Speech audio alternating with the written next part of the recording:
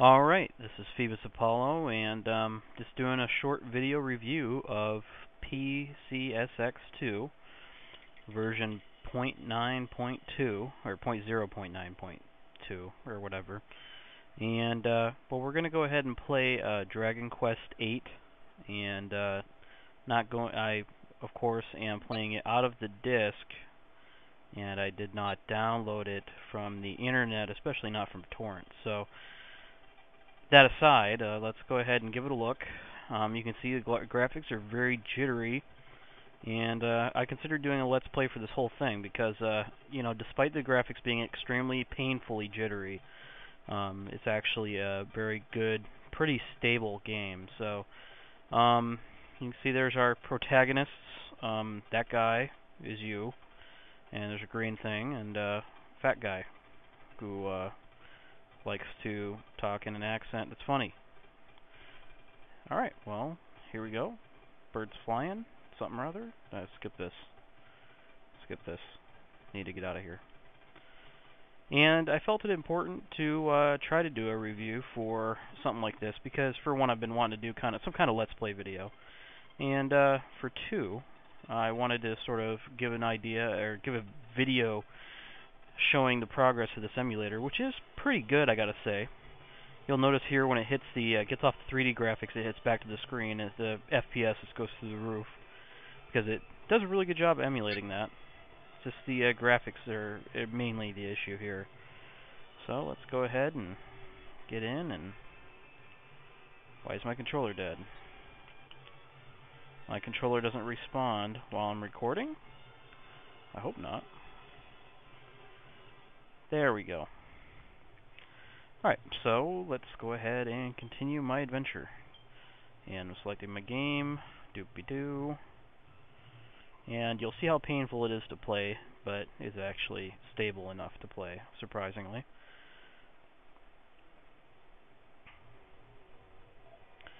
So, the point of this video is not to necessarily go through Dragon Quest VIII and, uh, you know, show you game, you know, gameplay of that nature, or to give you any kind of tutorial. It's more or less just to show how uh, how good this works with the uh, the actual emulator, and to uh, show you exactly uh, what you can expect if you want if you want to download it and play it right now. I do know that um, this emulator is uh, still under development, and they've got a new update coming pretty soon, as they keep talking about, and uh, it hasn't come out quite yet. But um, the really shitty thing is, is that being a PS2 emulator, the the main games that people have been perfecting the emulator for are the Final Fantasy games, which are garbage. And uh, you know, I mean, really, besides that, you know, pretty much just the Final Fantasy games. So, unfortunately, and the Japanese imports. So, unfortunately, we have not been seeing much action in terms of developing this for, uh, you know, like decent games, but the PS2 didn't really have many decent games, so I guess this is more to the point. What should I expect? You'll notice the animation is very slow, but the uh, the actual gameplay is standard standard time. It's just you get maybe 30, 20 FPS when you're moving, which if you use auto frame skipper, it'll actually skip those frames and you'll play at a normal speed. You just won't see the, you won't see all the frames, obviously. So it won't be a smooth animation. You can see I'm getting down here and just kind of jotting off doing my own thing. And it may seem like it's a little slow, but in reality it's probably just a wee little bit slower than how fast I'd be going if I was playing the, the regular version. This guy's kind of a slow guy to begin with. And, um, well, you know, to tell you the truth, I actually, uh, uh-oh. Oh. Well, that put a stop to that. Um, well, I guess I should just, uh, damn. Well, I guess no more reviewing of that, because, uh, that's kind of bullshit. But it was pretty fun. So, um, that's what you can expect if you try to emulate a PS2 on your computer. Now, I have clocked about two hours of gameplay into this thing, which is sufficient enough to get past the first level area thing.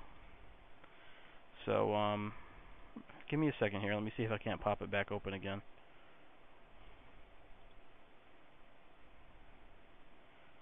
We'll see if it can't work one more time. We'll give it a shot. I think that's correct in the frame. Get in there. And save states are really useful because you can just zip right off to where you're going when you have the screen highlighted. Alright, there we go. So we're back. Oh, I don't want to talk to you.